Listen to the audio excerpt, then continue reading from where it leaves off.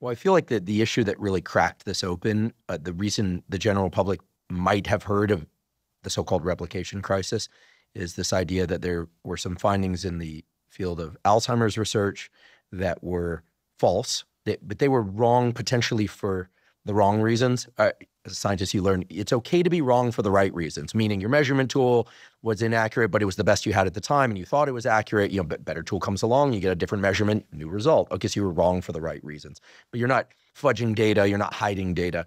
There is this idea that in the field of Alzheimer's research that somebody might have fudged data, made up data, and that the field kind of went along with it.